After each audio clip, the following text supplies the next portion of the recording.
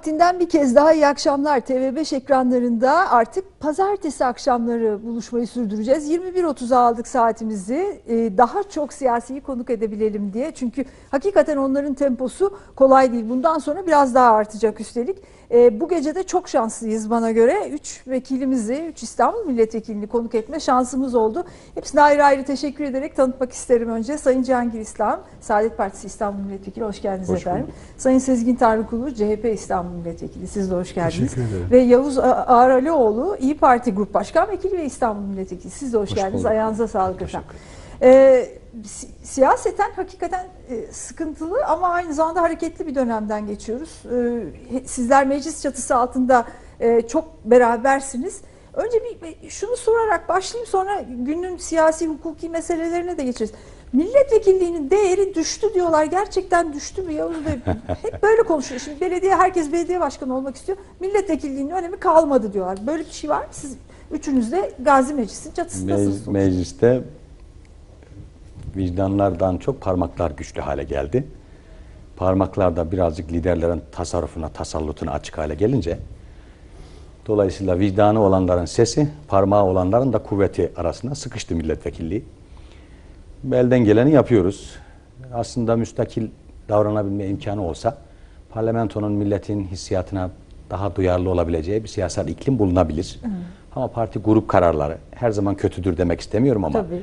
Liderlerin istediği şekilde çıksın diye tazik edilen grup kararları mecliste muhalefetin dile getirdiği herhangi bir haklı talebi duyulamaz hale getiriyor. Dolayısıyla bu meclisin hükümetin gözünden kaçırdığı, hesaplayamadığı bazı şeyleri dile getirirken muhalefeti zayıflatıyor. Muhalefet zayıflayınca aslında demokrasi zayıflamış oluyor. Demokrasi zayıflayınca aslında temsiliyet zayıflıyor. Temsiliyet zayıflayınca söz aslında bir adamın vicdanına, insafına kalmış oluyor. Olan o.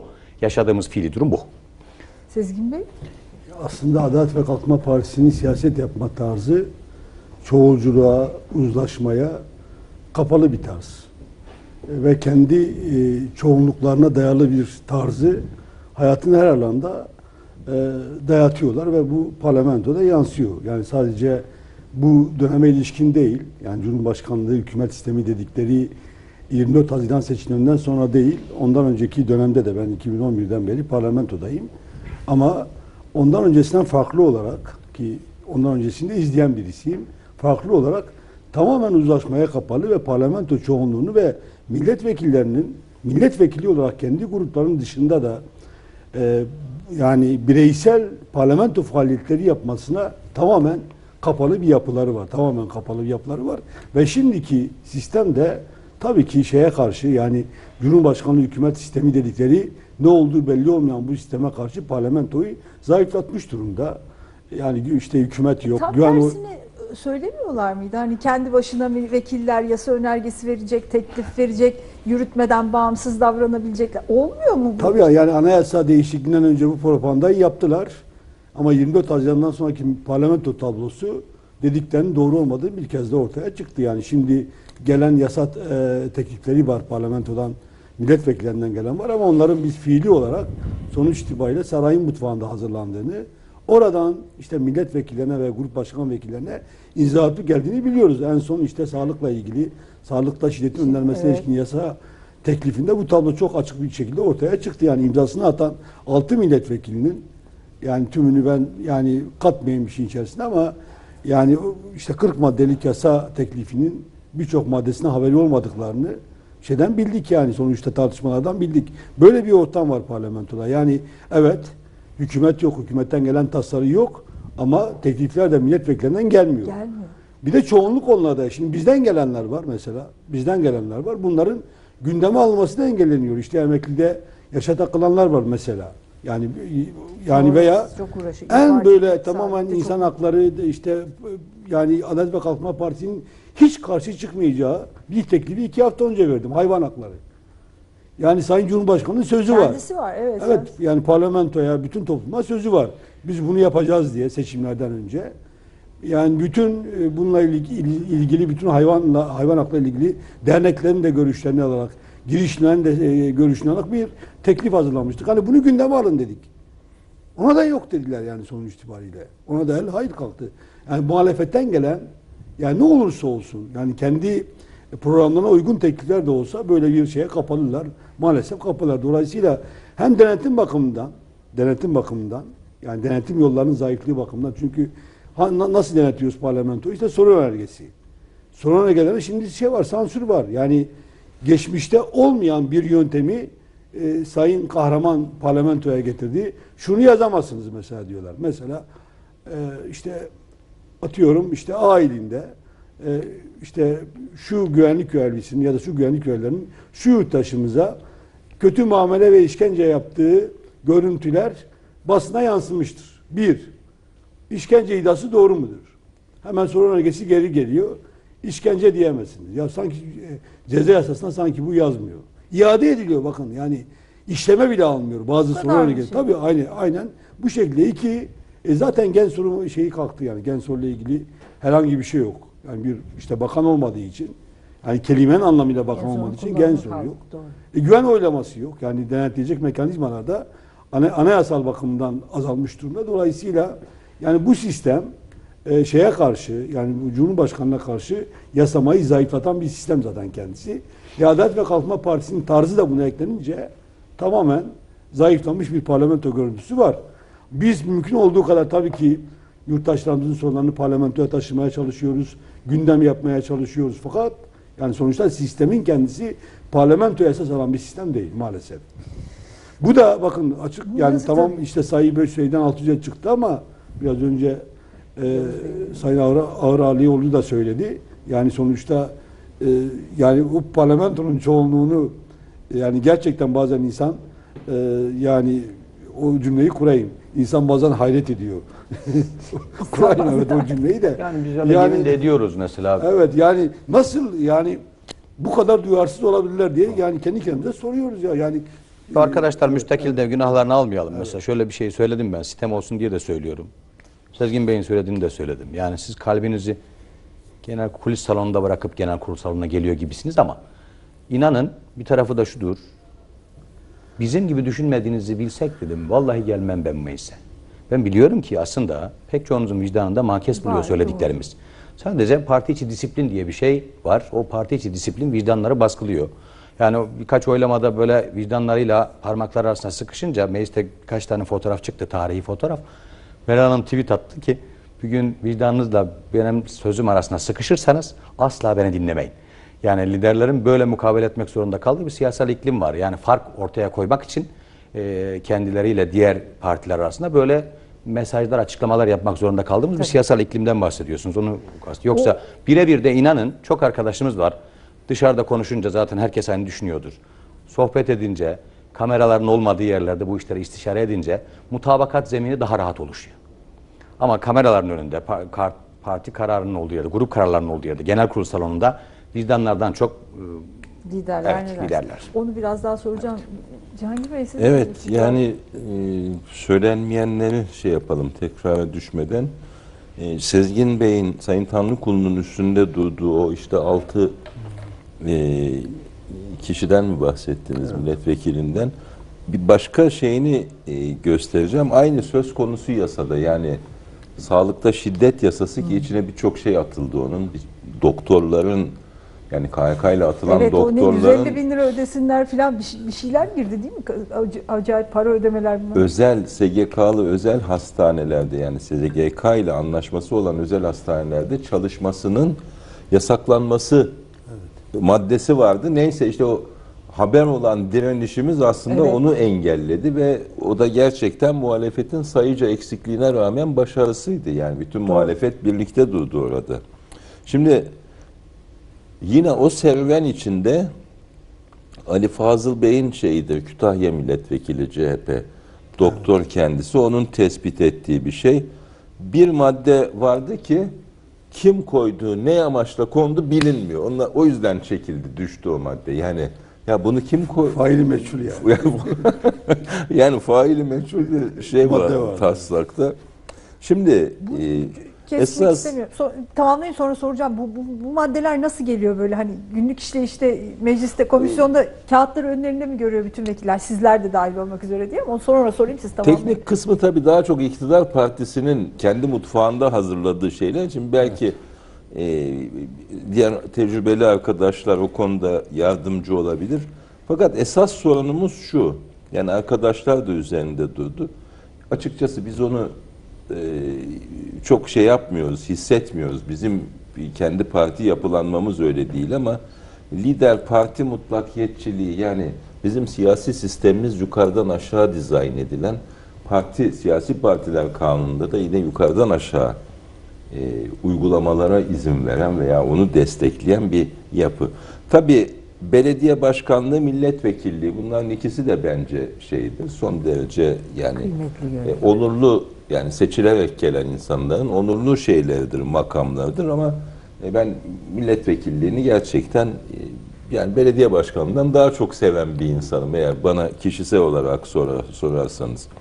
Şimdi amaç şu, amaç zayıf bir parlamento ve tek kişi yönetimi.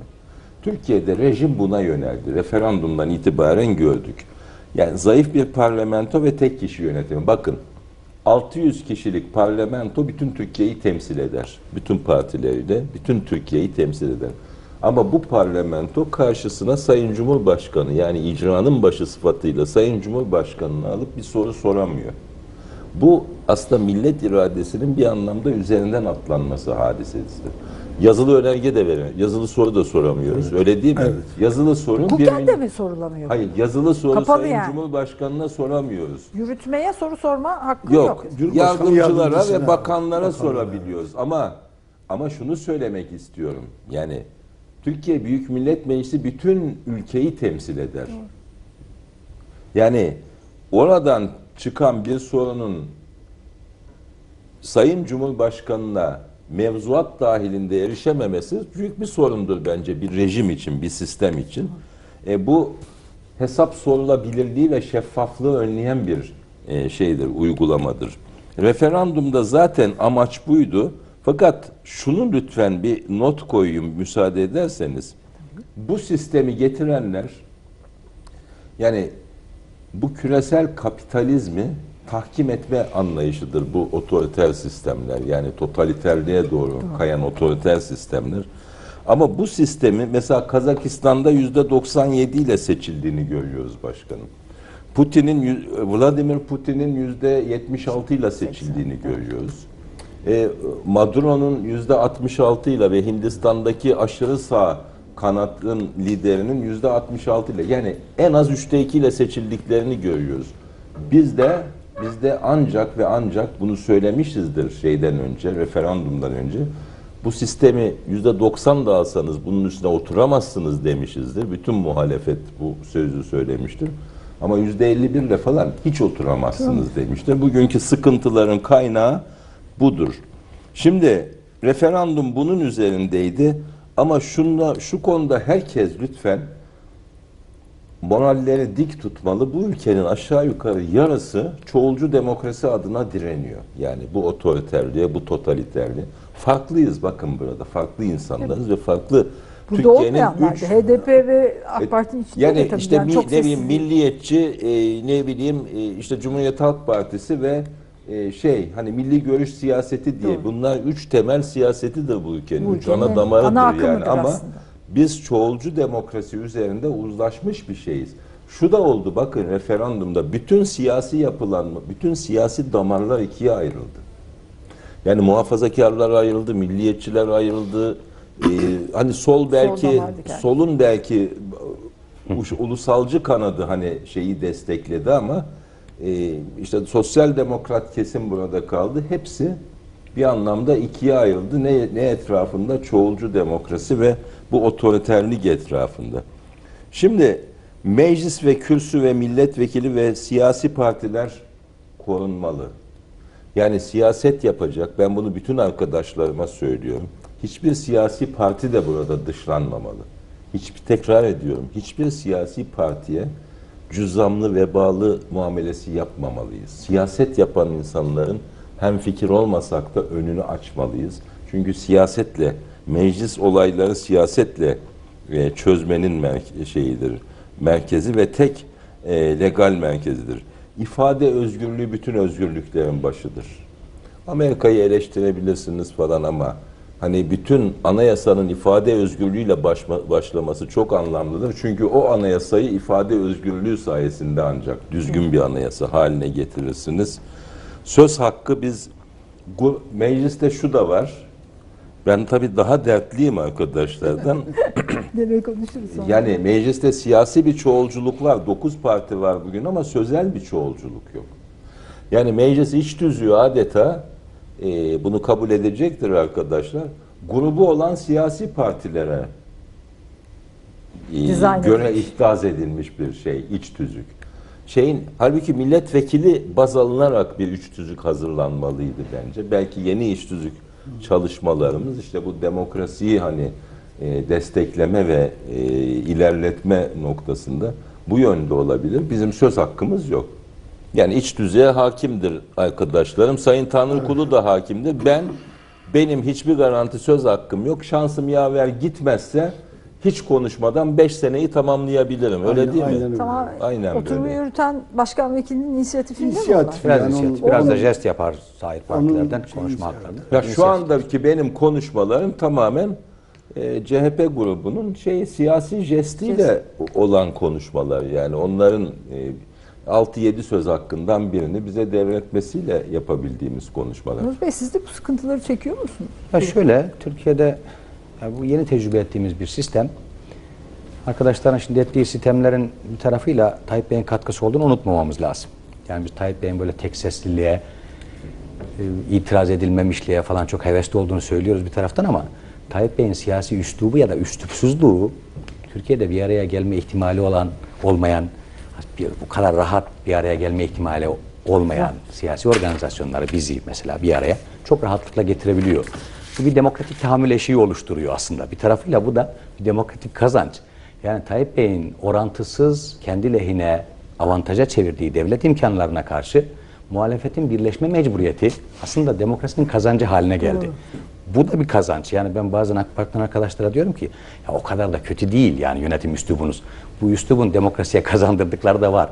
Sizin demokratik usullerde bizim aleyhimize elinizdeki imkanları kullanma şekliniz bir araya gelme ihtimali olmayan pek çok unsuru bir araya getiriyor. E, bu da bir kazanç bir taraftan bakarsanız. Ama ne olursa olsun bu tahammül eşikleri böyle oluşacak.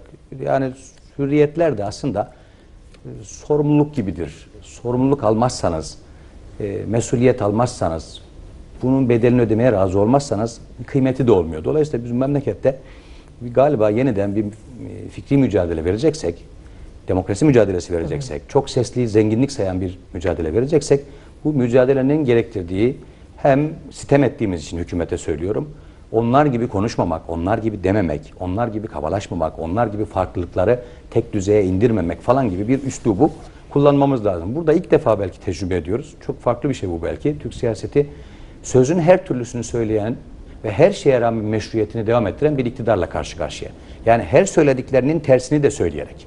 Şimdiye kadar ne dedilerse tam 180 derece tersini de söyleyerek meşruiyetini devam ettiren bir iktidarla karşı karşıyayız. Dolayısıyla burada muhalefetin kendi iç problemleri de aslında gündeme geliyor. Çünkü şöyle bir sıkıntımız var bizim.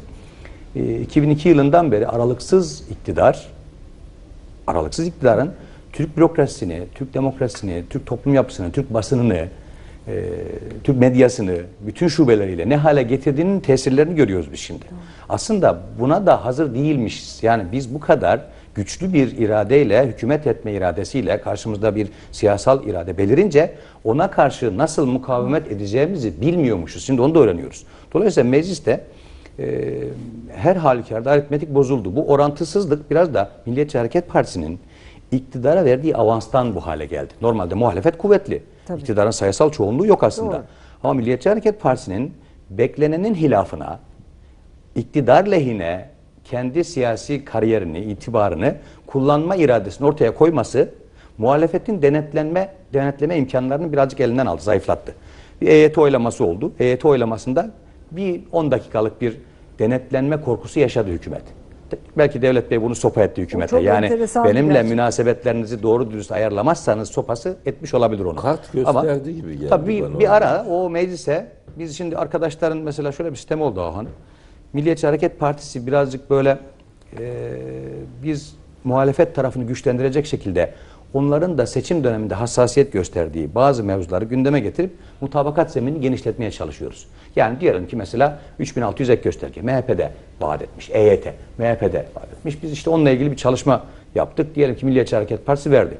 Sonra Milliyetçi Hareket Partisi siyasi koordinatlarımızda bir değişiklik yok. Biz hükümetle beraberiz bak bizim aramızda nifak çıkarmaya çalışmayın falan gibi bir sistemler edince ben e, münasip bir lisan ile demeye gayret ettim ki ya arkadaşlar yapmaya çalış- çalıştığımız tam olarak zaten şu. Hükümetin ben her istediğimi yaparım keyfiliğine zaman zaman sizin de vicdanen ya da parti programımızda olan bir takım doğrularda bizimle beraber olmanızı sağlayarak hükümeti terbiye etmeye çalışıyoruz. Bunun neresi kötü? Yani bunun neresine sistem ediyorsunuz? Siz demokrasi böyle bir şey. Şimdi ben böyle deyince ah hanım, AK Parti'nin grup başkan vekilleri arkadaşlarımız dediler ki başkanım bu, buna tam olarak fitne derler. Dedim ki beyefendi buna demokrasilerde muhalefet derler. Buna monarşilerde fitne derler. Yani sizdeki literatür savrulması burada. Doğru. Siz bizim yaptığımız işi muhalefet gibi görmüyorsunuz. Tam olarak problem o. Yani tam olarak bizim muhalefet diye yapmaya çalıştığımız şeyi fitne gibi görüyorsunuz. Bunu fitne gibi deyince bizi birazcık böyle e, hem terörize etmiş oluyorsunuz hem de meşruiyet alanı dışına itmiş oluyorsunuz. Halbuki demokrasi dediğiniz şey muhalefet olunca iktidarı anlamlı hale getiren bir şeydir. Dolayısıyla siz bizim yapmaya çalıştığımız işi baştan fitne kategorisine aldığınız için bizim yaptığımız işe ne vicdan ne kulak kabartmak zorunda değilsiniz. Öyle davranıyorsunuz. O yüzden meclis e, akordunu kaybetti. Çok fena. Yani ama muhalefet mukabele etmeye gayret ediyor. Muhalefetin kendi içinde de insicamı yok. Yani işte benzemez taraflarımız var ama ona rağmen demokratik bir tahammül eşiği oluşturup diyoruz ki ülkemizin geleceği için e, illa her şeyimizin birbirine benzemek zorunluluğu yok. Ama mutabakat alanlarımızı artır artıra gitmemiz lazım. Yani ülkenin ağırlaşan yükünü daha hafif hale getirecek olan şey ayrılıklara vurgu yapmak değil, beraber olacağımız zeminlere vurgu yapmak. Öyle bir siyasal kültür gelişmeye başladı. Bunu da kazanç görüyorum. Elimizden gelen yapacağız. Doğru bu çünkü ben hani mesela normal şartlarda eski çalıştığım kanalda üçünüzü bir arada bir programda görmeyi hayal bile edemezdim bilemiyorum. Sizler de gelir miydiniz ondan emin değilim ama burada sizi görmek gene de güzel. Buna ekleyeceğiz bir şey var mı Sezgin Bey? Yoksa işi, hukuk cephesinden bugün siz çünkü Silivri'deydiniz biraz o Evet, alanı dedim şöyle bir şey yani e, yeni rejimin kendi kodları var. Yani bir taraftan parlamento var yani aslında ama yok gibi. Yani işte bir tarafta yargı var ama yok gibi. Yani sonuçta hani bağımsız ve tarafsız yargı. Yani her şey yani sonuç itibariyle bir demokrasi açısından bütün kurumlar neredeyse var. Yani var ama. Ama- e, sonuçta etkinlikleri, güçleri ondan sonra tamamen zayıflatarak ve e, tek bir otoriteye, otoriteye bağlı hale getirerek varlıklarını sürdürüyorlar. Parlamentonun getirilmek istediği nokta bu ve bizim de karşı çıktığımız, olmaması gerektiğini söylediğimiz de bu. Yani şimdi e, Sayın Erdoğan işte ve onun liderliğindeki AK Parti böyle yapmaya çalışıyor. Yani parlamentoyu doğrudan doğruya yani işte evet bakın bir parlamentomuz da var diyecek bir zeminde tutmaya çalışıyor. E, yapmak istedikleri bu. Onun Başka dışında sesi mesela olmasın. şunu diyorlar yani işte bir gün çalıştık yeter kapatalım. İki gün çalıştık işte tamam yeter kapatalım. O evet Böyle evet yani sonuçta böyle bir tarzı da yani parlamentoyu daha az çalışan, e, kendilerinin sadece getirdikleri teklifleri görüşen, onun dışında bir işlevi olmayan bir yapıya dönüştürmek istiyorlar. Yani bunu yapmak istiyor aslında. Yani giderek yani daha işte bak gördünüz değil mi? Aslında parlamentoda yani Türkiye'de işlerin hızlı işlemesine, ondan sonra işte e, karar alma süreçlerine bir sekte vuruyor. Dolayısıyla çok da toplanmasına gerek yok. Zaten orada reis var, işte başkan var, ondan sonra cumhurbaşkanı var. O zaten herkes adına en doğruyu bilir. E, kurulları da oluşturmuş orada. Zaten paralel bir hükümet de var. Yani bir işte 15 tane bakan var ama onun, onun dışında kurullar var, bilmem kurumlar var falan var. Öyle de var. Dolayısıyla bunlara hiç gerek yok. Bir şey söyleyeceğim ve buradan çıkacağım. Şimdi bu sağ- sağlıkta şiddet yasası görüşülüyor. Maddenin bir tanesinde şey var. Yani ilaçla ilgili patent falan işte onunla ilgili bir düzenleme var. Cumhurbaşkanı. Cumhurbaşkanına yetki verdiler. Patent yani ilaç patentleri konusunda yetkiyi Cumhurbaşkanına verdiler. Ya şimdi Sağlık Bakanlığı var. İlaç Eczacılık Genel Müdürlüğü var. Patent dediğiniz yani ilaç patenti. Bir Lisans şey yani. yani bu. Lisans. Yani sonuçta bir genel müdürlüğün belki işi olabilecek bir şey en fazla bu kadar. Ya dedik ya yani şimdi Sayın Cumhurbaşkanı dünya lideri. Her gün bir yerde. Bir gün Putin'le görüşüyor. Ertesi gün Bush'la işte şeyle görüşüyor. Trump'la görüşüyor. Dünyanın her yerinde G20 zirvesinde. Yani şimdi Sayın Cumhurbaşkanı nasıl gelecek Bu ilaç patentine bakacak. Yani bu bakanlık ne iş yapar falan. Neyse yani sonuçta bu, bu şekilde geçti ve yani, yani benim izlenimim şu. Yani kendisi istemiş bunu. Gerçekten. Yani- Gerçekten bunun kendisi izlenimimi söylüyorum sadece. Ha. Evet yani bu- daha fazla bilgiyi burada paylaşmayayım. Kendisi istemiş. İşler daha hızlı yürüsün diye. Çünkü patent işi yok. Ticaret Bakanlığı, Ekonomi Bakanlığı, yok Sağlık Bakanlığı falan. Sizler bir araya gelip bu işi çözemezsiniz falan. En iyisi çok hızlı olsun, bende olsun. Ya böyle düşünen bakın patent işini bile bir taraftan G20 zirvesinde konuşacak falan. E diğer taraftan gelecek buraya patente imza atacak. Ya da ruhsata imza atacak. Yani Hızlı mı yoksa bir mesaj mı var? Mesela yani, orada yani şu bakın, ülkede hasta iyileşecekse onu da biz iyileştiririz Gerekçesi gibi. onun ar- arkasında başka şeyler de var. Yani işte büyük e, lisans alırken, patent alırken büyük e, meblağlar var, başka şeyler var falan. Yani onlar da var.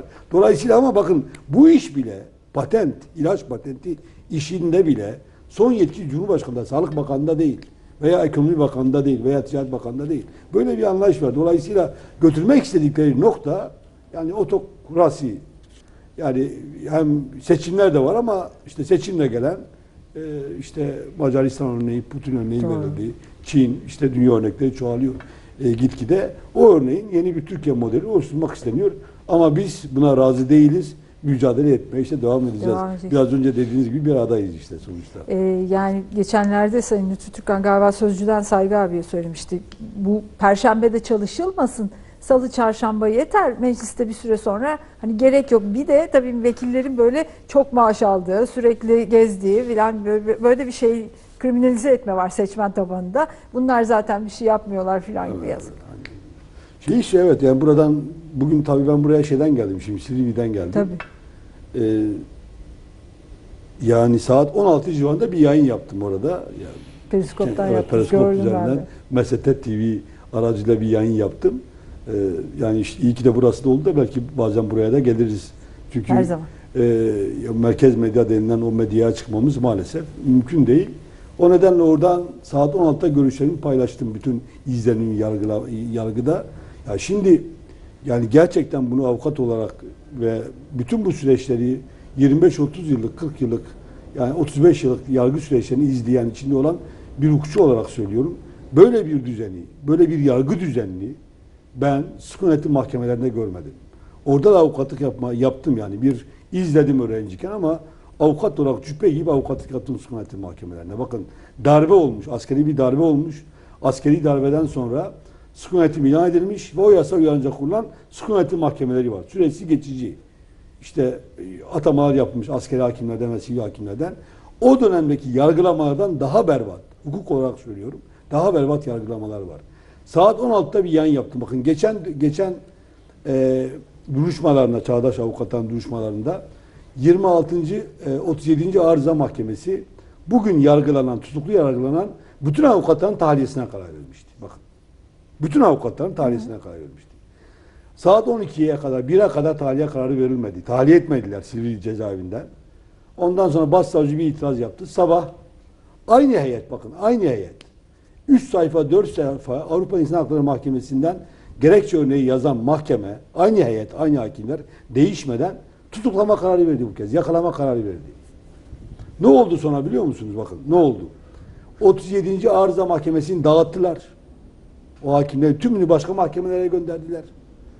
Sıfırdan yeni heyet Şeyde geldi. Çağlayan Adliyesi'nde ben bunu Plan Bütçe Komisyonu'nda e, şeyde Adalet Bakanlığı bütçesinde bakana da söyledim. Oradaki bü- bütün bürokratlar da vardı. Orada da söyledim. Bir mahkeme heyeti var şeyde. Nedir ismi? Çağlayan Adliyesi'nde cezalandırıcı heyet, mobil. Mobil bir heyet var. Onlar nereye Bir gitse- mahkemede bir mahkemede görevi bitiyor. Oradaki mahkemede cezalandırıcı bütün davaları hızla bitiriyor. Sonra o heyeti alıyorlar, başka bir mahkemeye koyuyorlar. Bakın 37. Arıza Mahkemesi'nin heyeti dağıtıldı.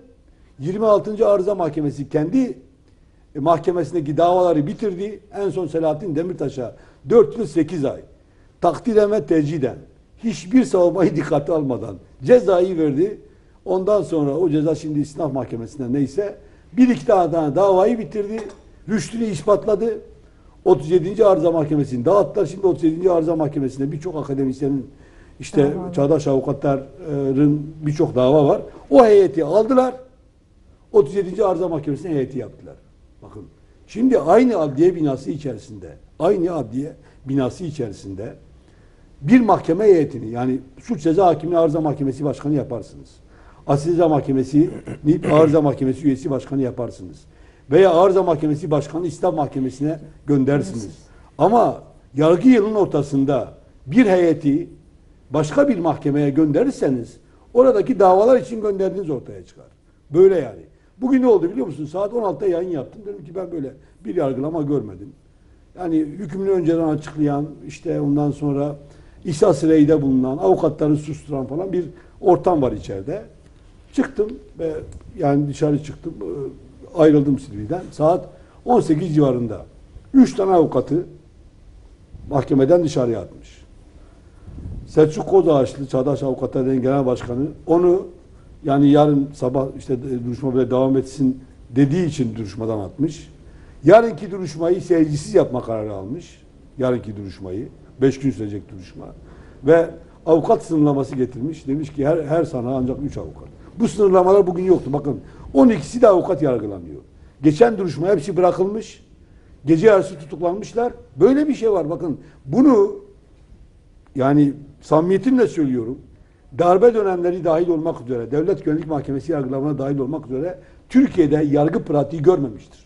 Böyle bir düzeni görmemiştir yani. Böyle bir şey. Akademisyenler yargılanıyorlar. İfade özgürlüğü. Yani kabul edersiniz etmezsiniz. Ama ifade özgürlüğü çerçevesinde yargılamalar neyse bir bildire imza atmışlar. Bildiri içeriği tartışsız ayrı mesele. 60 yaşındaki akademisyen. Türkiye'nin yüce haklarından bir tanesi. Ayakta duruyor. işte savunması yapılıyor. Avukat diyor ki ben savunmama geçeceğim. Biraz uzun sürecek. Müvekkilim oturabilir mi? Duruşma salonu. Ben de oradayım. Hayır oturamaz ayakta bekleyecek diyor. Avukat sordu ya dedi. Niye oturmasın? Ben böyle takdir ettim. Mahkeme idaresi bana aittir. Yani şimdi bu düzeni bakın. Yani bu düzeni yani böyle bir düzen inanın inanın sükunetli mahkemelerinde olmamıştır.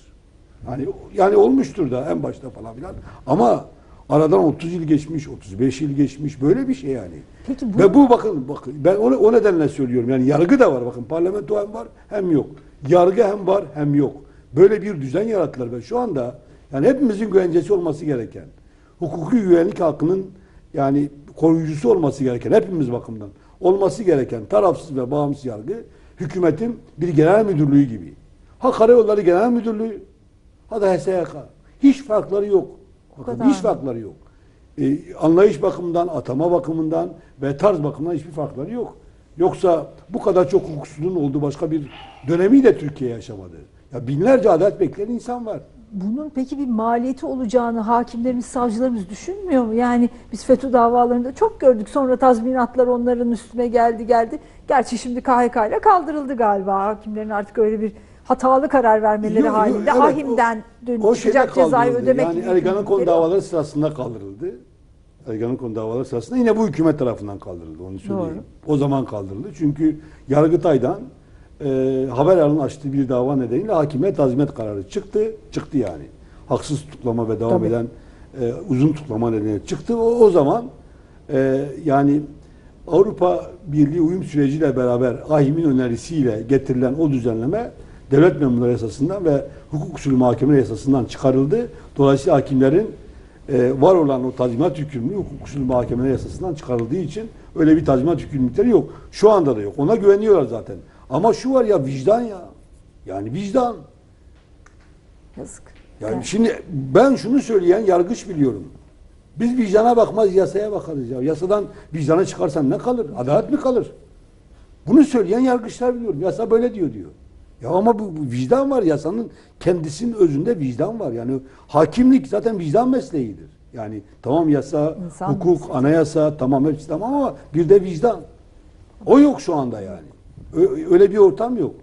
Birisinin tutukladığı yani tutukladığı bir herhangi bir davada başka bir hakimin başka bir karar vermesi imkansıza yakındır bakın imkansıza yakındır. Ama nasıl imkanlı hale geliyor onu da söyleyeyim. İşte Çağlayan Adliyesi'nde bir insanın yakın bir zamanda siyasi davalar nedeniyle söylüyorum. ifade özgürlüğü, Cumhurbaşkanı hakaret falan filan. Bu davalar bakımından söylüyorum. İtirazen çıkması istisnadır yani. Binde birdir. Böyle belki binde bir bile değil. Yok çünkü hani beşinciyi öyle bir şey yaptılar ki sistem getirdiler ki hava boşluğu bırakmadılar. Bakın eskiden e, sorgu hakimi yapardı. Onun onun kararına siz Asya Ceza Mahkemesi'ne itiraz ederdiniz. Çağlayan Ad- Adliyesi'ne atıyorum 70 tane Asya Ceza Mahkemesi var. O hafta veya o gün hangisi nöbetçisi o bakar. Bugün tayin etmeniz mümkün değil. Bugün tutuklandınız yarın atıyorum 35. Asya Ceza Mahkemesi. Onun bir vesileyle olumlu karar verme ihtimali var diyelim yani. Olumlu karar verme. 70 tane A- Asya Ceza Mahkemesi'ni kontrol edemezsiniz. Ne yaptılar biliyor musunuz? Sorgu işlerini yani bu tutuklama, sarıl verme, el koyma, dinleme işlerini 9-10 tane hakime bağladılar. Birden 9'a kadar 10'a kadar suç ceza hakimlerine. Beşinci suç ceza mahkemesi karar verdiği zaman Asya itiraz edemiyorsunuz. 6'ya itiraz ediyorsunuz. 6. Asya suç ceza mahkemesine. Ay evet. o. 7 verirse 8'e ediyorsunuz. 9 verirse 1'e dönüyorsunuz, 1'e yapıyorsunuz. Dolayısıyla sistemi böyle kurmuşlar. Ama sistem şeye doğru işliyor. Uyuşturucu baronlarına karşı işliyor. Nasıl işliyor? İşte bundan bir ay önce ortaya çıktı. Yani bir gazeteci, köşe yazarı yazdı ve yalanlanmadı o. İsim önemli değil ama hakim şunu söylüyor. Bir uyuşturucu baronu bakın İstanbul orta yerinde buralarda yakın bir yerde yakalandı. İran kökenli bir adam. Yani yani operasyon büyük bir operasyondu. Yakalandı. 2-3 tane polis memuruyla beraber ona yardım eden. Hepsi tutuklular şeyde. Davaları açılmamış. İşte itirazlar yapılıyor falan filan. Bir itirazlar çıktı. Yani Cuma günü gece saat 11'de çıktı. 5. ya da 6. ya da hangi, hangi mahkeme olduğunu şimdi bilemiyorum tam olarak. Tabii o olağanüstü bir şey. Hemen Fatih itiraz edildi ve tutuklandı. şey. Sonra ne oldu biliyor musunuz? Hakimin beyanını almışlar ve basına yansıdı o. Şey demiş. Bir yerden telefon Adalet geldi. ve Kalkınma Partisi'nin etkili bir ismi, İsmi. bana telefon açtı ve şunu söyledi bakın. Aslında orası çok önemli. Devlet hassasiyeti olduğu bu sanıkla ilgili olarak devlet hassasiyeti olduğu bana ifade edildi. Devlet hassasiyeti. Şimdi devlet hassasiyetiyle uyuşturucu bağlamları tahliye ediliyorsa Adalet ve Kalkınma Partisi'nin çizdiği devlet anlayışında o hassasiyetle acaba kimler içeride şu anda tutuklu kalıyor? Aynı hassasiyetle. Böyle bir yargı düzeni var. Yani benim isyan etmem, kabul etmemem bundan dolayı ve böyle bir ortam var. acayip. Buna içeriden ses çıkarmayan aslında hakimler, savcılar var. Asıl itirazın içeriden gelmesi, lazım. Gelmesi gerekir. Yani yargı ortamından gelmesi gelmesi lazım. Biz işte işaret ederiz, konuşuruz falan ama o isyanın, o itiraz etmenin oradan gelmesi lazım. Ben son olarak çok uzattım farkındayım. Yani üç gün önce şey vardı. Yargı stratejisi toplantısı vardı. e, Sayın Bakan Ankara'da. açıklama yapmış sınav geliyor vesaire. Evet yani onun dışında ama şimdi birer dakikalık şey konuşmaları vardı. Anayasa Mahkemesi Başkanı'nın, Yargıtay Başkanı'nın, Danıştay Başkanı'nın e, konuşmaları vardı. Birer dakikası falan. Onu İngilizceye, Fransızca çevirirseniz yani dersiniz ki bu acaba hangi ülkede konuşulmuş?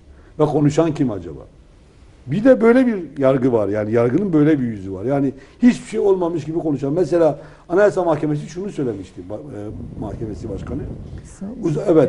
E, yargının vesayet altına alınmasının ve uzaktan kumanda edilmesinin hangi hukuksuzluklara yol açtığını tecrübe etmiş bir dönemden geçiyoruz ya da geçtik. Yani bunu söylüyor biliyor musunuz? Neyse. Yani ben bu e, kadarını konuşayım. Bir, bir devlet anlayışı var. Yapılan her şeyin devletin Evet. bekası büyük e, şeyi için yapıldığı e, söyleniyor. Bunu Yavuz Bey'e de soracağım. Çünkü hani e, özellikle milliyetçi siyasette bu önemli bir şeydir. E, yani bazen devletin çıkarlarını e, hukukun da önüne koyabilmek vesaire vardır. E, ama merkez sağ siyasette Cihangir Bey hukukla ilgili söyleyeceğiniz bir şey var mı yoksa biraz Şimdi- mağduriyetlerden siz Evet, e, birkaç şey not aldım da birkaç e, noktaya değinmek istiyorum. Az önce devletin bekası dediniz. Evet, devletin bekası Bekası. önemli, hepimiz için önemli. önemli. Fakat referandumla birlikte bu yeni anayasa ve yeni rejim anlayışıyla birlikte Sayın Erdoğan şunu yapmaya çalıştı ve kısmen de onu yapmaya çalışıyor. Kendi kaderini AK Parti'ye, AK Parti ve devletin kaderini kendisine, Kendisine bağlı. bağlı. Yani e, ben gidersem devlet, de Devlet gider, gider. AK Parti de gider. AK Parti zaten şu anda bir e, e, iletişim bürosuna dönmüştü. Yani özel kalem bürosuna dönmüştü. Bunu söyledik ama referandum öncesi. Yani e, hani bu sistemle Beştepe'nin birer şeyine nasıl söyleyeyim bayiliğine Bayiliğine. dönmüşlerdir. Yani orada sorunlar tespit edilir ama çözülmüyor. Beştepe'dir yani. Parlamento değil, Beştepe'dir.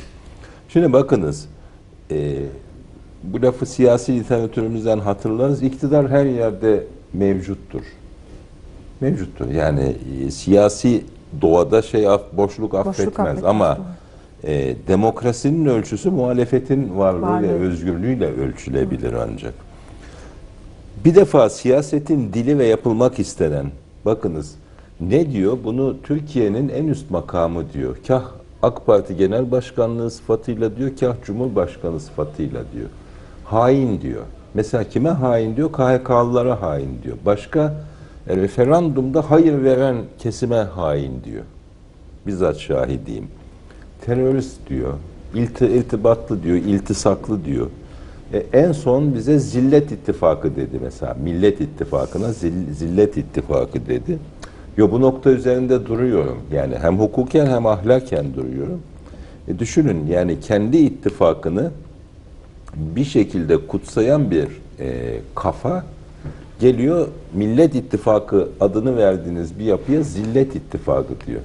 Öncelikle bu bu aşağılayıcı dilin hukuki bir problemi vardır ama bunun dışında bunun dışında ben şimdi siyaset dışı konuşuyorum. Eğer aynı kitaba bağlı ortak bir ahlaka sahipsek bu sözü sarf eden zillet ittifakı diyenin sadece çıkıp milletten özür dilemesi ve bu ittifaktan özür dilemesi yetmez. Aynı zamanda umumi sarf ettiği için tövbe etmesi de gerekir. Niçin? E, Özbey'in dediği fitne meselesi gibi inanmayan yani. Yani- kitaba baksın. Bunu siyaset dışı söyledim arkadaşlar bir ahlaki bir yükümlülük olarak. Şimdi bu ikili dil Sayın Tanrıkulu'nun söylediği daima mevcuttur. KHK'lılardan da bu iste, herkesten bu iste. Yani zulmü yapacak ama siz gık çıkartmayacaksınız. Herhangi bir muhalefet yapmayacaksınız ve hiçbir şey yokmuş gibi anlatacak o sağda solda. Yani ve bunun faydalı bir işlem olduğunu adeta e, savunacak. Burada muhalefete e, ve yargıya çok iş düşüyor. Evet bu riskli bir alandır. Bedel de ödemeyi gerektirir. Biz parlamentoyu çalıştıracağız. Yargıçlar da hukuk devletini çalıştıracak ve dayanışma içine gireceğiz. Başka yapılacak bir şey yoktur. Hukuk işletilecek. Hukuk devleti tesis edilmezse bu, bu sistem hepimizin üstüne çöker. Çok büyük sosyal patlamalara neden olur. Buna ekonomik kriz de eklendiği zaman. Bakın ben KHK'dan benim atılışım, kişisel e, serüvenimden bahsetmeyi sevmiyorum ama önemli bir örnektir. Dördüncü atılışım bu benim. Arkadaşlar biliyor mu bilmiyorum. Daha önce 90'lı yıllarda üç kez atıldım. O dönemin lanetlileri irticacılardı. Ben de o lanetlilerin içindeydim ama iyi kötü hukuk işliyordu. Yani Ankara Üniversitesi beni atıyordu. Ee, mahkeme beni haklı bulup bir bireyi şeyi istemeden çiğnemiş olmama rağmen yönetmeli. Yani dernek üyesi olmak rektörden yazılı izne tabiydi. Ben bunu atlamışım. Gerçekten bilmeyerek yaptım ama bu atlanan e, prosedüre rağmen mahkeme beni birey lehine kullanarak şeyini, e, reyini görevime iade etti. Burada bir kötü niyet yoktur, Yoktur vesaire. dedi, Bunu tabii. Belki de bunu sözleşmeler çerçevesinde yorumladı o o yasayı. Vicdanen Şimdi yorumladı yani. Burada bir kötü niyet yoktu. Son olarak bir şey söylemek istiyorum. Çok da böyle e, uçuk konuşmak istemiyorum ama Türkiye'nin bugünkü sorunu bil, bakın e, bilgilenmenin ve mantığın temel şeyleri çalışmıyor. Mantık yani zihnimizdeki mantığın çalışması hepimizde ortak bir şey. Yani e, o işte yüzyıllar önce ku- şey yapılan mantık kitaplarındaki temel, Temel. konular ve bunu incelediğinizde ne Atina geleneğinde ne vahiy geleneğinde ne Hristiyan geleneğinde o mantıkta bir mutabakat görürsünüz. Çünkü sağlıklı uzlaşmak yanında sağlıklı düşmanlıklar da o mantığın kullanılmasıyla alakalı Doğru. bir şey. Fakat bugün bu tahrip ediliyor. Bundan önce, bundan önce inanın bana ahlakın zemini tahrip ediliyor bu ülkede. o. Yani iyi ile kötünün arasındaki fark kalkıyor. Bir kişinin ağzından çıkan, bunu söyleyince şey yapıyorlar, sinirleniyor AK Partili arkadaşlar ama bir kişinin ağzından çıkan haşa Allah kelamının da adeta üzerinde tutuluyor ve onunla çelişmemenin yolları aranıyor. Şeydeki suskunluk da ondandır yani AK Parti grubundaki bu e, hani di, dinginlik değil o, sessizlik, o suskunluk. Söylemek istediğimiz şudur. Bunlar insanların kendi varoluşunun temel e, şeyleridir, e, mekanizmalarıdır. Bilgiye, bilgiye ve mantığa duyarsızlık da aynı zamanda ahlaki bir sorundur. Sorumludur, Bakın doğru. yani doğruya doğru dememek de ahlaki bir sorundur. Doğruyu reddetmek de ahlaki bir sorundur. Yani işimiz gerçekten kolay değil ama, ama- tekrar ediyorum. Türkiye'de Türkiye'de bu rejime aşağı yukarı Türkiye'nin yarısı direniyor. Bu müthiş bir siyasi şeydir. Başlangıç ve sermayedir. Ben- Fazlası bile ben, şöyle ben var. bunun artacağını, önünün açık olduğunu ve bu kesimin artacağını düşünüyorum. Peki bir ara verelim hızlıca dönünce kaldığımız yerden devam edelim.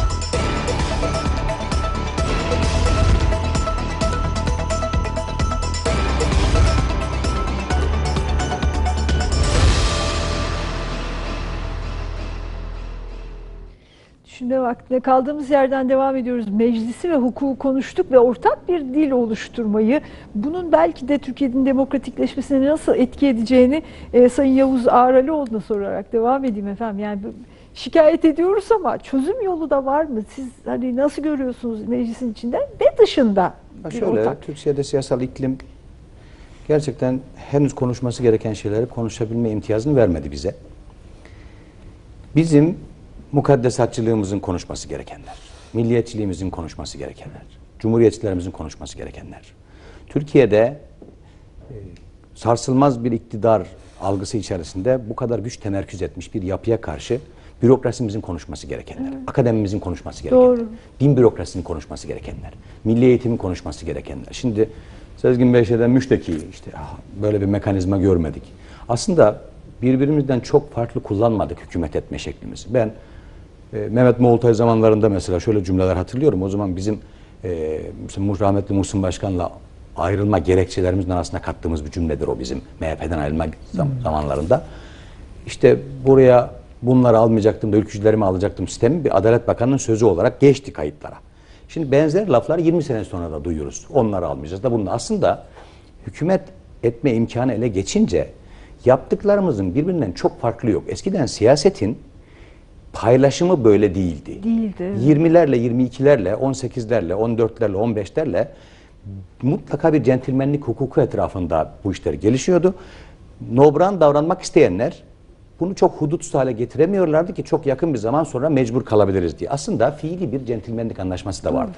Şimdi aralıksız 16 yıllık iktidar yerine de başka bir şeyin gelemeyeceğine dair bir kabule dönünce bürokrasinin gardı düştü. Yani adli bürokrasi 15 Temmuz korkusunu şuna dönüştürüverdi. FETÖ'cü olmak korkusundan karar veremez hale geldi. Doğru. Felci oldu. Yani bu korkuyu besleyecek bir dehşet dili, devletin de dili haline gelince bu sefer ben elimdeki dosyanın içerisinde neyin olup neyi olmadığına bakmayayım. Sadece üstüne bir şey değdirmemek için ben FETÖ'cü olana kadar yargıladığım adamı FETÖ'cü edeyim kolaylığına düşmüş oldu. Şimdi burada hükümetin dehşetli dilinden çok mevzu etmemiz gereken şey şu. Biz bu çocukları nasıl okutuyoruz ki bunlar bir siyasi güç karşısında bu hale gelebiliyorlar. Aslında büyük problemlerimizin Evet. konuşulma zemini burası bizim. Yani bir siyasetin bu kadar üslupsuz davranmasından bunun böyle olduğunu düşünüyoruz. Ben biraz daha buna farklı bir perspektiften bakıyorum. Ben Tayyip Bey'i hükümet etme şeklini, devletin imkanlarını kullanma şeklini bu memleketteki siyasal savrulmanın sebebi saymıyorum. Ben Tayyip Bey'i sonuç sayıyorum. Aman sonuç. Tayyip Bey bir sonuçtur. Türkiye'deki bürokratik sosyoloji, akademik sosyoloji, din, dini sosyoloji, içtimai sosyoloji yani bizim aslında varlık alanı bulduğumuz ve kendimizi iddia inşa edeceğimiz, iddia edeceğimiz her zeminde biriktirdiğimiz ne varsa o Tayyip Bey doğurdu.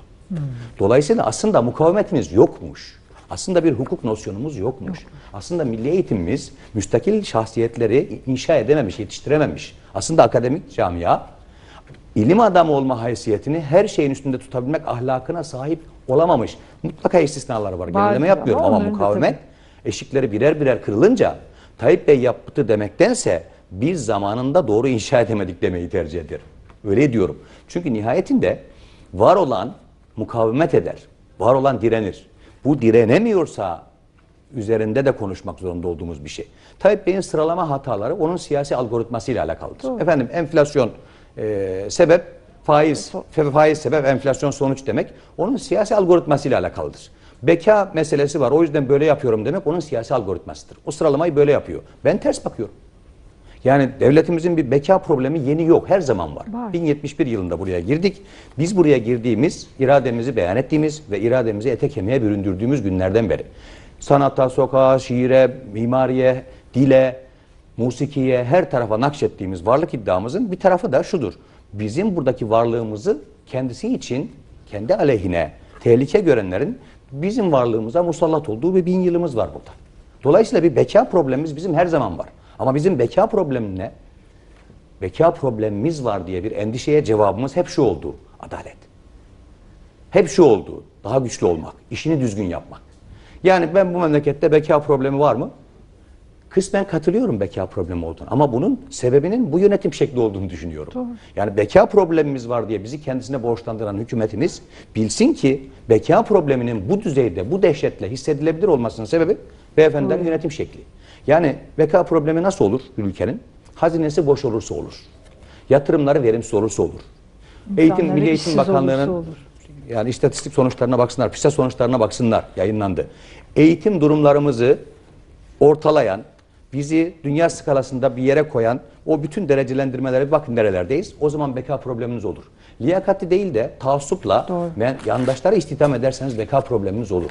Ülkede nimet külfet dengesini ayarlayamazsanız beka probleminiz olur. Bu ülkede üretimi yetim bırakır, rantı çok kuvvetli hale getirirseniz beka problemi olur. Yani aslında bu beka problemi dediğimiz iş aslında ülke kötü yönetildiği için olur.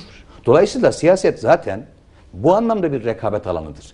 Yani kendisinden daha iyi yönetileceğine dair bir takım iddialarla siyasal organizasyon kurulur. Herkes kendisinden önce olandan, gelenden daha iyi bir Türkiye tasavvurunun, daha iyi bir Türkiye hayalinin partisi olarak milletin karşısına çıkar. Çok basittir bu. Şimdi bu eskiden rekabet diye adlandırdığımız şey şu anda AK Parti'nin siyasal üslubu sayesinde hasımlığa döndü. Husumete döndü. Yani doğru. biz Tayyip Bey'in düşmanı değiliz. AK Parti'deki arkadaşlarımızın düşmanı değiliz, rakibiyiz. Ama AK Parti'deki arkadaşlarımız muhalefeti düşman gibi görüyorlar. Yani kendilerine münhasıran tahsis edilmiş bir şeyi ellerinden almaya kalktığımızı zannediyorlar. Tayyip Bey kendisinden önce ülkeyi yöneten siyasi iktidarlardan daha iyi bir Türkiye vaat etti. O vaat ettiği Türkiye adına milletten yetki aldı. Biz de Tayyip Bey'in yönettiğini Getirdiği iddia yerden ettiği daha iyi ülkeden yere daha iyisini getireceğiz. yönet. Bu yarış dediğimiz mekanizma böyle çalışır. Demokrasiler de hep daha iyisini yapmak iddiası yarın endişelerine iyi gelen mekanizma olduğu için tercih edilir. Yani bu insanların kendi geliştirebildikleri en ehven yönetim modelidir. Dolayısıyla bunun me- bu mekanizma içerisinde biz beka problemlerimizi aşabiliriz. Şimdi siz kendi ülkenizin kaynaklarını yönetirken bu kadar hudutsuz kazanma şehvetine kendi yandaşlarınızla beraber teslim olursanız bu ülkede kuralı kaideyi zor tutturursunuz. Kendinizin hesap vermekten imtina ettiği mahkemelere başkalarını davet edip hesap versin diye çağıramazsınız. Siz kendiniz istisnası olmaya heves ettiğiniz hiçbir ilkeyi başkaları uysun diye onlara icbar edemezsiniz.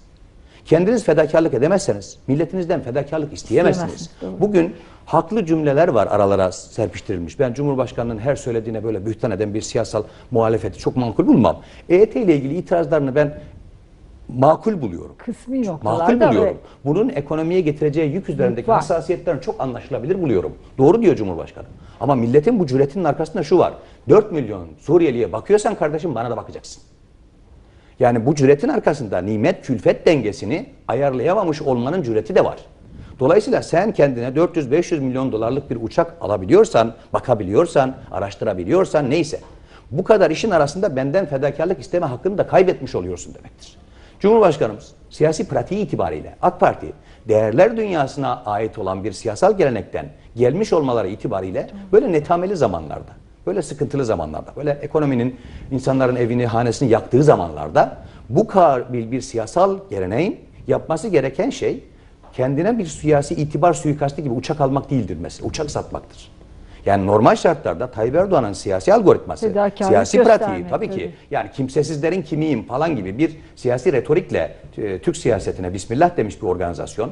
Simit hesabıyla asgari ücreti Tabii. iktidar aleyhine kendi lehine kuvvete çevirmiş bir siyasi pratiğin Bugün konkordato ilanlarının peş peşe geldiği bir zeminde. İnsanların geçim darlığından intiharların eşiğine geldiği bir dönemde. Sanayilerin, sanayicilerimizin birer birer dükkan kapattığı, kepenk kapattığı, fabrika kapattığı yandığı. bir e, hengamede işçilerimizin, çiftçilerimizin, dar gelirlerimizin, emeklilerimizin hepsinin feveran halinde geçim darlığı çektiği ve krizin artık dayanılmaz hudutlara vardığı bir hengamede, bir, bir vasatta siz kendinize uçak falan alamazsınız. Yaparsanız ki şöyle bir şey, dersiniz ki arkadaşlar devletin itibarı devlet adamlarının bindiği şeylerdendir diye bir şey söylemiştim ama bu bolluk zamanının sözüdür. Şimdi darlık zamanının işi şudur. Bütün uçaklarımız satılacak. Satarsanız uçakları millet ona bakar. Derseniz ki ben 100, 130, 140 tane arabayla geziyorum ama bir araba bir koruma kafidir. Satıyorum 150 tanenin 148 tanesini. Millet onu görür. Efendim tasarruf ederseniz, tasarrufa kendi yanınızdan, yakınınızdan başlarsanız millet bu yapmaya çalıştığınız hassasiyeti anlar. O zaman milletinize tahammül diyebilirsiniz. Ama siz 60 bin liralık maaşınızı 76 bin liraya çıkarırsanız geçinemiyorum diye vatandaşınızdan fedakarlık isteyemezsiniz. İsteyemezsiniz. İsterseniz vatandaşınızın size mukabelesi şudur. Bu seçim sürecinde yine bize doğru şeyleri konuşma imkanı vermemek için ittifak, şer ittifakı, zillet ittifakı, millet ittifakı, cumhur ittifakı, beka problemi falan diye bir şey yapmaya çalışıyorlar. Bunun arkasındaki sahip budur. Yani vatandaşın gerçek gündemiyle mevzuyu konuşabilme imkanını elinden almaktır bu. Yani biz şimdi yerel seçimleri konuşuyoruz, şehirlerimizi konuşamıyoruz. Doğru. Yerel seçimleri konuşuyoruz, bu şehirlerimizin teslim olduğu beton anarşisini konuşamıyoruz. Aslında biz İyi Parti olarak Türkiye'de ülkeyi kim yönetsin kavgasının sebep olduğu sıkışmaya iyi gelecek bir siyasi iddiayla çıktık. Biz ülkeyi kim yönetsin kavgasının partisi değiliz. Biz ülkeyi ne yönetsin iddiasının partisiyiz. Ne yönetsin? Ülkeyi kim değil. Önce ne yönetsin? Yönetsin, Ülkeyi nasıl ahlak yönetsin? yönetsin. Ülkeyi zarafet yönetsin. Ülkeyi hakkı hukuku canından aziz bilme duygusu yönetsin. Ülkeyi devletin malını her şeyden aziz bilme ahlakı yönetsin. Ülkeyi kendinden olmayan insanların da ülkesi bilme sorumluluğu yönetsin. Ülkeyi tahammül yönetsin, ülkeyi teenni yönetsin, ülkeyi hoşgörü yönetsin. Ülkeyi kendi yanını yandaşını kayırmak değil, hak edene hak ettiği mevkiye getirme sorumluluğu yönetsin. Şimdi bunların etrafında bir elbise, bir siyasal sorumluluk elbisesi dikelim. Bunlara sahip olan kimse o yönetsin gelsin. Ama Türkiye'de siyasal iklimi Tayyip Bey kendi lehine şöyle avantaja çevirecek yönet- şekilde yönetiyor. O mu yönetsin ben mi yöneteyim? O mu yönetsin ben mi yöneteyim de evet avantajlı hale geldiğini bildiği için siyasalın siyasal alanın iklimini de terörize ediyor.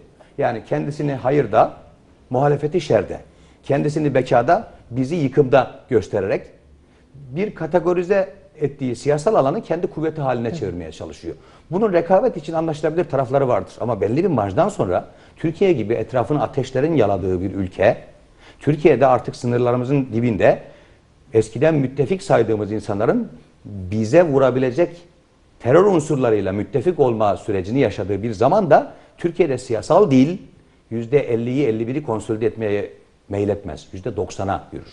Biraz önce Cihangir Bey söyledi. Bazen siyasal iklim %30'larla daha önceki sistemin e, aslında avantajıdır Tayyip Bey'e verdiği. 34.7 idi galiba. Kesinlikle. 34.3'tü galiba. 34.7 miydi? İlk Öyle bir rakam. Tam hatırlamıyorum. Onunla aldıkları sayısal avantaj 363. 3'te 2. 360 363. Yani ilk aldıkları. Şimdi 2002. 366 mı? 366 mı? Ha, öyle bir şey. Şimdi o zaman aldıkları avantaja rağmen 34'ten daha bağımsız bir şey vardı. Yakaladılar onu. Bazen öyle isabetli şeyler yaptılar ki %34 oya rağmen bazen meşruiyet 50, bazen 60, bazen 70 oldu. Doğru. Yani 70'lere Kendi vurdu. Şimdi dışında oyu- oyu da desteği yani aldı. normal oy havzalarının dışında yaptığı pek çok makul işin millet vicdanında karşılığı Var. oy vermesek de doğru. Bunları siyasi olarak desteklemiyor olsak da yaptıklarını çok makbul buluyoruzdan %60'ları, 70'leri, 80'leri bazen bulabilir bir meşruiyet alanı oluşturdu. Ellerine imkan verdi. Şimdi %50 o yüzden %49-50 diye Cihangir Bey'in söylediğine ilave ediyorum bunu. Daha Fazlası var. %50 oy, %25 meşruiyet bazen. Bazen %20 meşruiyet. Eskiden ceketimi koysam alırım siyasi partisiydi AK Parti. Ceket koysam alırım. Kimi koysam alırım. Çünkü nereye kimi koyduğundan bağımsız her yerde Tayyip Erdoğan'a oy veren bir siyasal meşruiyetin avantajı vardı. Şimdi sadece makul makbul insanlar koyarsam alırıma geldi. Yani ben buraya herkesin sevebileceği, herkesten oy alabilecek adamlar koyabilirsem alırım. Oraya geldi.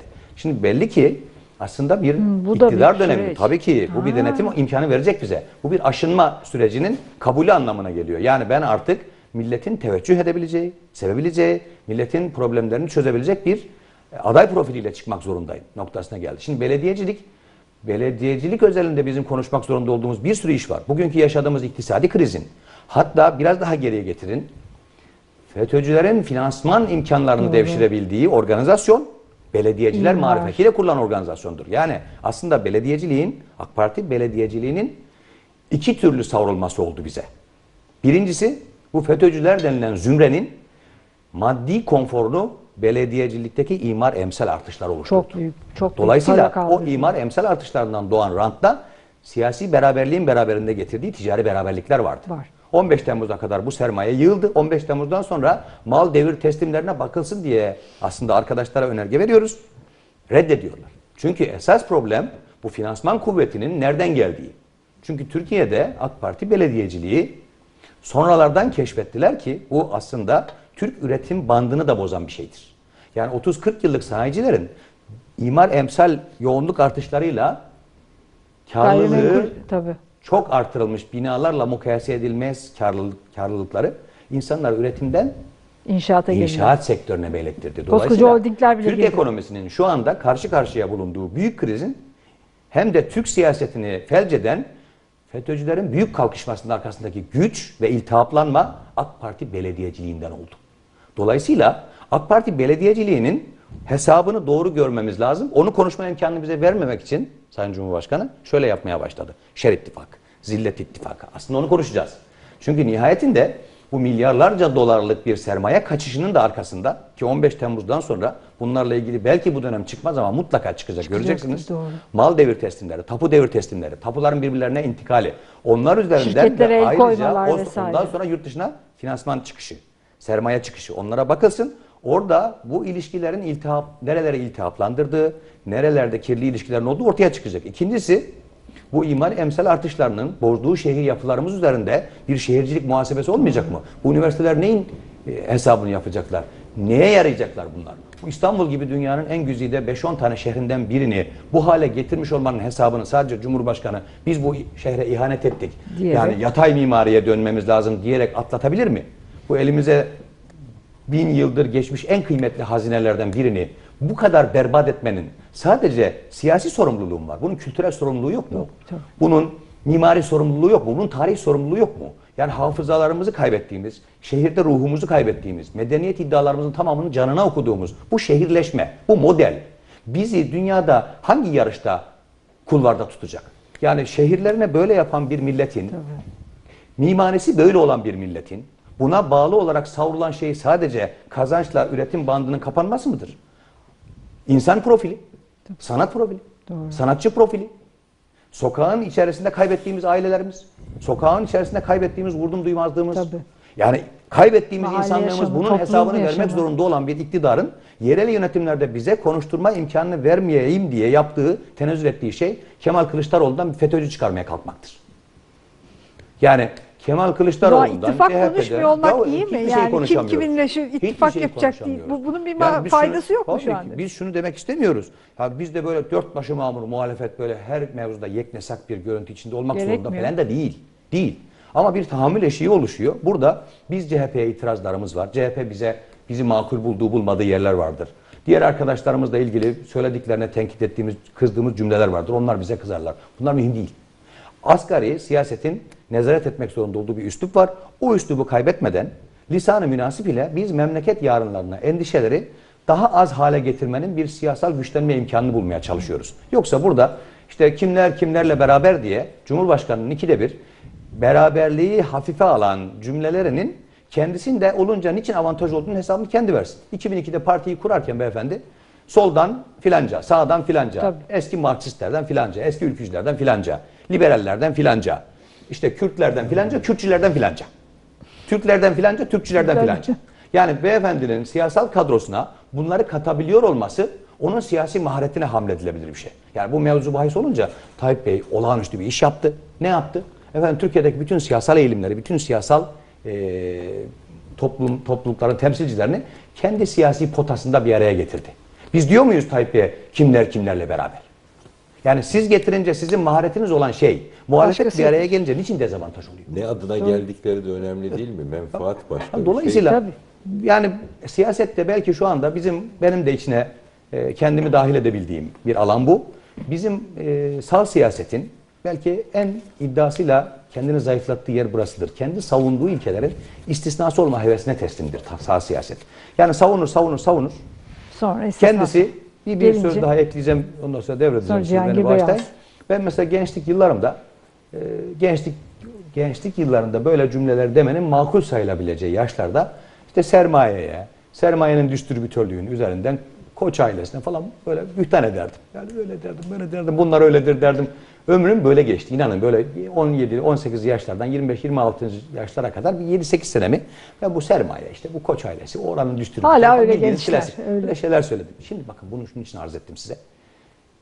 Ben mukaddesatçılığımızın iktidarında Ali Ağaoğlu gibi birini görünce böyle rahmetli Mustafa Koç falan bana mutasavvuf gibi gelmeye başladı. yani inan böyle Ali Koç'u falan görünce diyeceğim ki ya böyle Tapduk Emre'nin dergahından çıkma adamlar gibi duruyorsunuz. Ya aile hayatınız çok düzgün. Eğitiminiz çok düzgün, diliniz çok düzgün, terbiyeli insanlarsınız. Hani şu, bunu böyle demek istiyorum. Niçin diyor?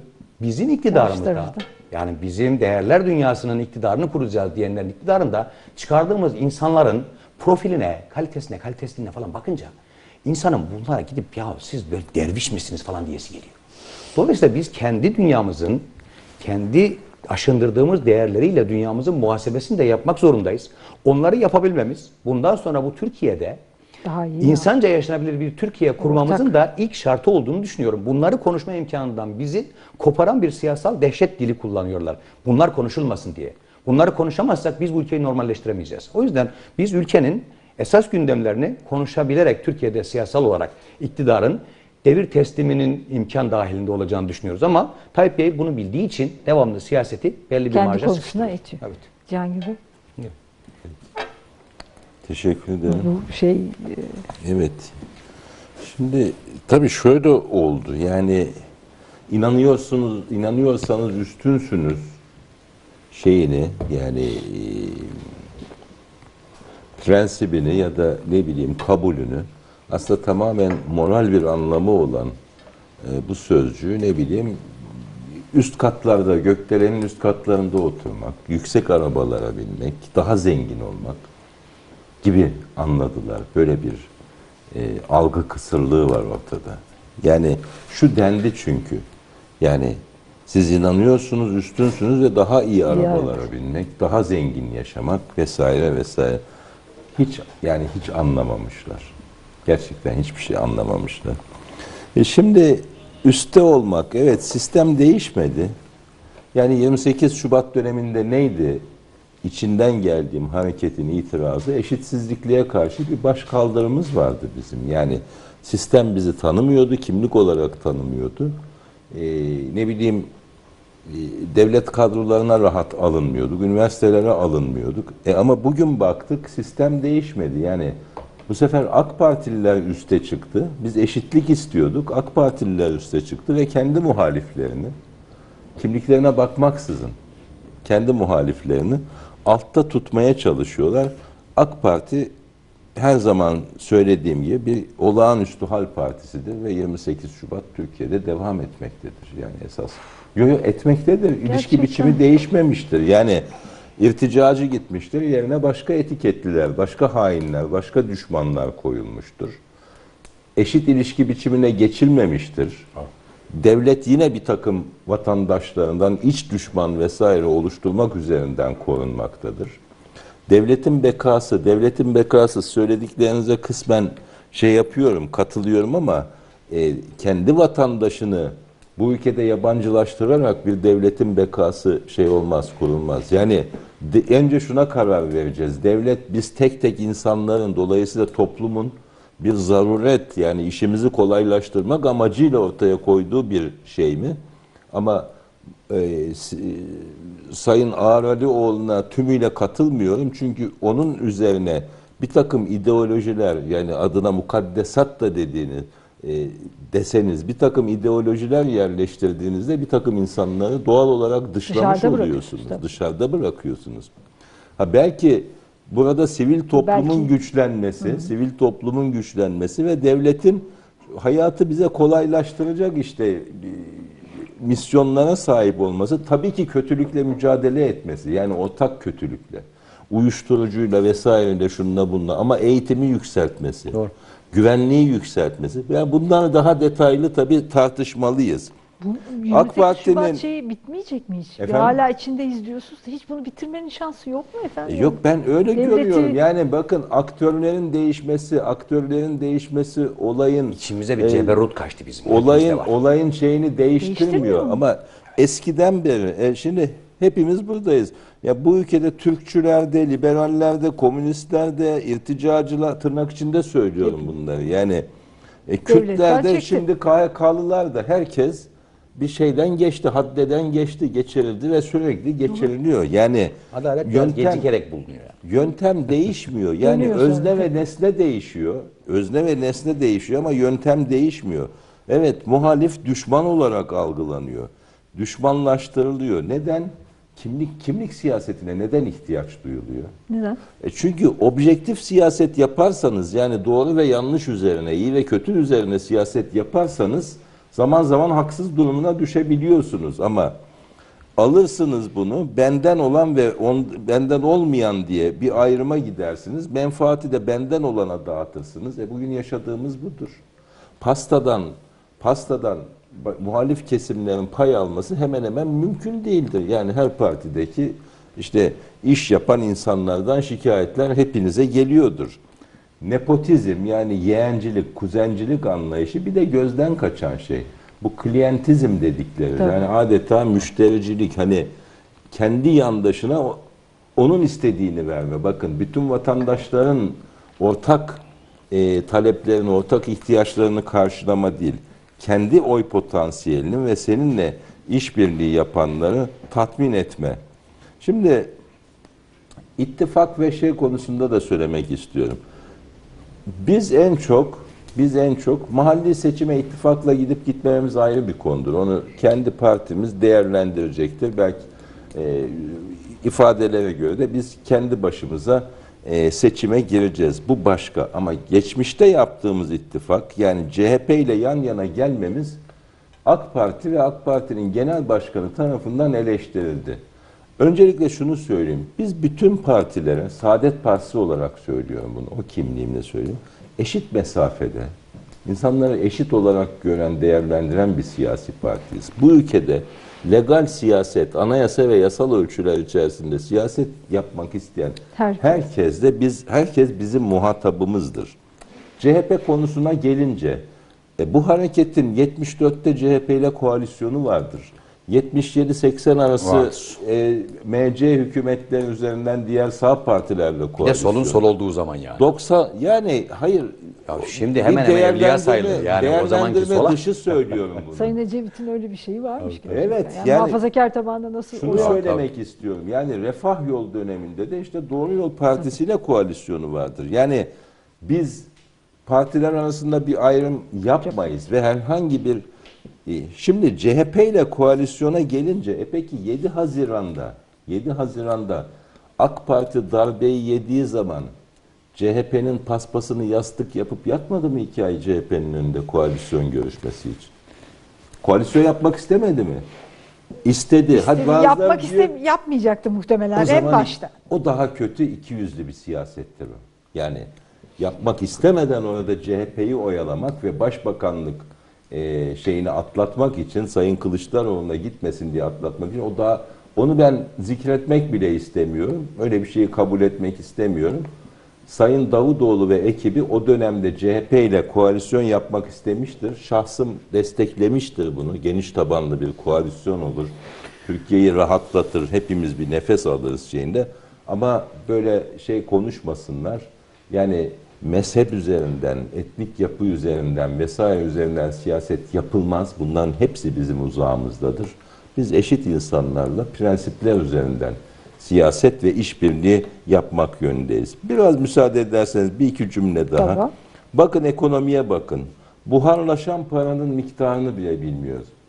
Kibar konuştuğumu görüyorsunuz değil mi? Buharlaşan diyorum. Yani buharlaşan paranın Ne kadar olduğunu bilmiyoruz arkadaşlar daha. Yani bunu hesaplayacak bir yöntem yok. Ne oldu bunun sonunda? Dolar milyoneri arttı. Dolar milyonerinin artması yoksulların çok daha fazla artması pahasına olan bunu böyle bir bedel ödeten bir şeydir. Bugün size de geliyordur e-mailler. Çek çekleri dönenler hapis yatıyor. Yardım istemiyorlar mı sizlerden? de? Twitter'dan da atmışlar şimdi- size mesaj yolluyorlar. Efendim? Twitter'dan, sosyal medyadan da atıyorlar çok sürekli atıyorlar. hem e-mail Çekten. hem e, çek yüzünden ins- e peki siz borçluyu hapiste yatırırsanız o borcu nasıl ödeyecek? Burada bile böyle bir mantıksızlık var. Yani bırakın işini kurtarsın ki borcunu ödesin. 500 milyar doları biz ödeyeceğiz. Yani bu iktidar gidici, o belli de. Ama Türkiye kalıcı inşallah. Ama bunları bu halk olarak biz ödeyeceğiz. Suriyeli konusuna ben biraz farklı bakıyorum. Savaş ortamıdır. Herkesin başına gelebilir. Yok, problem yok. İnsanlar Yani niye geldiler bir yere şey yapmamıştı. Yani anlıyorum. Yani o Hassas. sertlikte eleştirmediğinizi de görüyorum. Allah korusun bizim de başımıza gelebilirdi. İnsanlar bir gecede hayatları değişti. Bir de ş- şart değil ama bir de şöyle bir şey var. Suriyeli iş adamları sanki işlerini de buraya taşıdı yani. Birçoğu buradan Bir iş işte yapıyor, yapıyor, gibi evet. görüyor. Yani bir katkısı da var. Olması şart değil. Tümüyle verici de olabilirsiniz. Lokmanızı paylaşırsınız bu konuda. Ama e, e, israf israf konusu baştan sona yani buradaki bütün itirazlar hepimizin itirazı. Son olarak şunu söyleyeyim. Bakın en zengin ülke olmayabiliriz. Olamayabiliriz. Yani üretmemize rağmen en zengin ülke olamayabiliriz ama bu ülkeyi en özgür, en adil, en eşitlikçi ve en kardeşçe yaşayan ülke Zenginlik haline, sonra doğar zaten. bir hukuk devleti haline getirmemek için elimizde e, önümüzde herhangi bir engel, Engel yok. yok. ve bu, bunun masrafı da yok. Bir zihniyet değişikliğiyle, bir bakış açısıyla bu mümkün. Teşekkür ederim. Birkaç dakikam var ama bitirmek için size. Evet sözü- yani ben de Kusura Çok da keyifli geçti. Bir daha yapalım derim ama yani biz ana muhalefetiz. Daha fazla imkana sahibiz. Gene gelin daha daha derim hepiniz. Bir AK Partilileşme görüyorum yani. kendi medyamız falan var. Ama daha sık gelin hakikaten. Yani e, bu izleyen, izleyenler de çok sevdi mazeret. çünkü. kendi açısından bir meşhur. Mecliste Hükümet de öyle diyor. Hükümet de diyor ki biz sayısal olarak çoğuz o yüzden çok konuşmamız lazım. Evet, yani siz konuştunuz da ben sizin Eyvallah. konuşmanıza Azların çok konuştuğu evet, ülke haline evet, gelmemiz evet. lazım. Çoklar zaten çok konuşuyor. Yani daha fazla dinledik. Yani böyle olacak zaten. Daha fazla dinleyeceğiz öyle söyleyeyim de. Şöyle bir şey bakın. Ee, önümüzde bir yerel seçimler de var. Sonuçta 24 Haziran'dan sonra yeniden bir yani denge en azından Türkiye siyasetinde iktidarında bir denge yaratmanın aracı da var. O da yerel seçimler. Tabii vatandaşın da böyle bir şansı duruyor. var. Şimdi yani zaten yani genel seçimlerin önüne alması nedeni de tam da bu krizler falan nedeniyleydi. Yani Türkiye bir krize, bir darboğaza girecekti. Bizim kadar onlar da gördüler. Dolayısıyla genel seçimler, yerel seçimler önüne çektiler, çektiler ve şimdi yerel seçimleri yapıyorlar.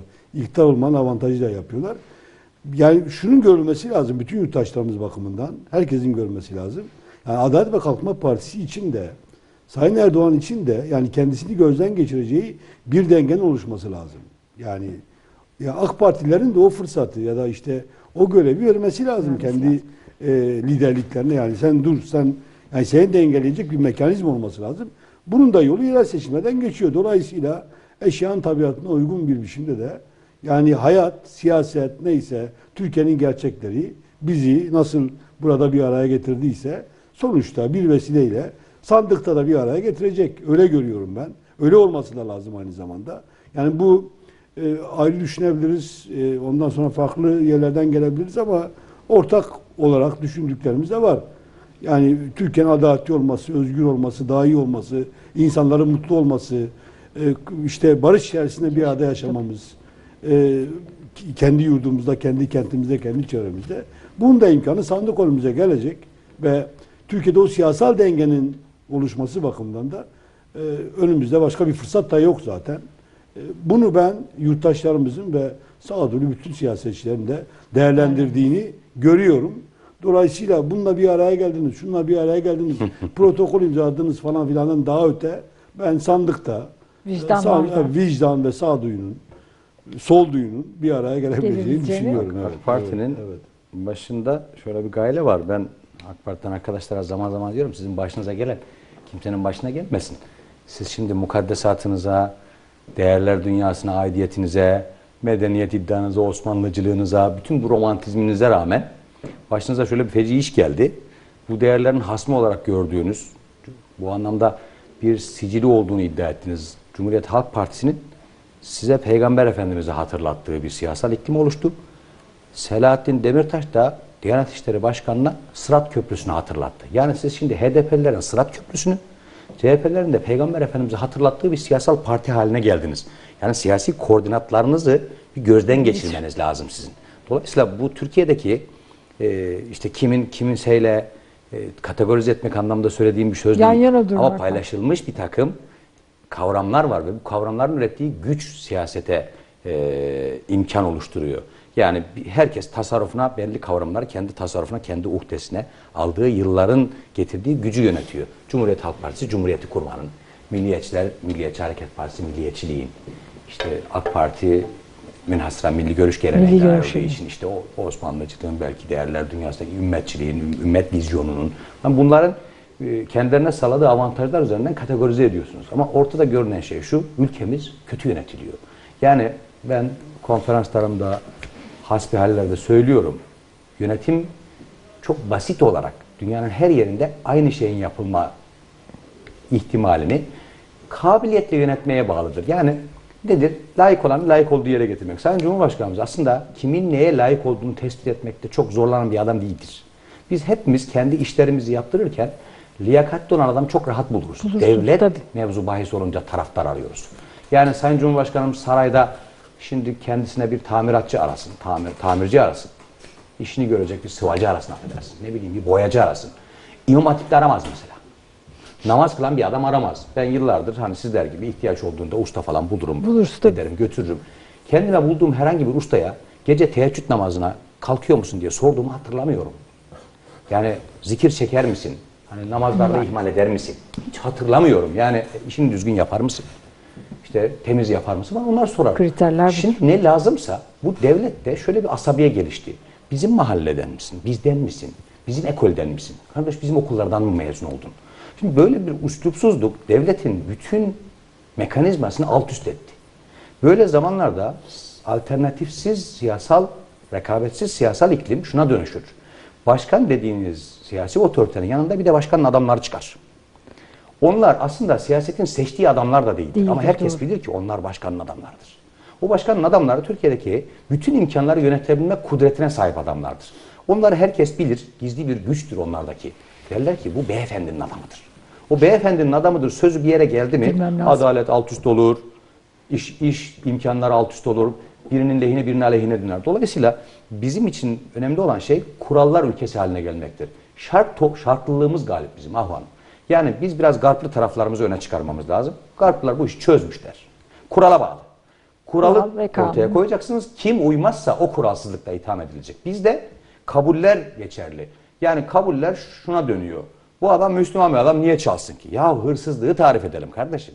Kimseye iyi niyet beyanında bulunmayalım. Hırsızlığı tarif edelim. Kim bu kategoriye girerse ona diyelim ki bu hırsız. Çok E, teşekkür ederim. Müslümandan hırsız çıkmasaydı bu cezalar zaten Evet. kitapta belirtilmez. Yani bir de böyle bir boyutu var işin. Doğru. Evet. Herkes bir iki cümle şey yapmak isterim. Bütün insanlar bütün suçlara ya da şeylere sapabilirler Doğru. yani böyle ama bu da kalıcı değildir. Yani insanlar kendilerine çeki düzen de e, Verebilir. verebilirler. Yani şey hadisesi de ehliyet ve liyakat hadisesi de aslında bizatihi Budur. Yani İslami ayet- ayet de oraya içinden gelmiştir. gelen Tabii, ayet şeydir de oraya yani. gelmiştir. O- Yani Şey, o da ekline İslam'ın içinden gelen bir şeydir. Hani Ayet tam olarak öyle rağmen yorum, yoruma değil aslında o yoruma gitseler onu görecekler mutlaka. Bunu Çok eklemek teşekkür ederim. Biz Daha- teşekkür ederiz. Daim olsun. Her zaman çağırabilirsiniz Çok çok bizi. teşekkür Evet. ederim. Ayağınıza sağlık. Hakikaten çok büyük keyif aldım. O Biz şu teşekkür şununla ederiz. ittifak yaptı, protokol imzaladı konularına da girmediğimiz veya en azından çerçevesini sizler çizdiğiniz için de çok Girseydiniz manada çıkaracaktık yani. çok yani ke- vardı böyle acaba tartışma çıkar mı diye bekleyenler ama herkesin çok büyük sevgisi var. Sosyal medyadan selamlarını yolluyorlar. Düşünme vaktini bu haftalıkta tamamladık. Haftaya görüşünceye kadar hoşçakalın.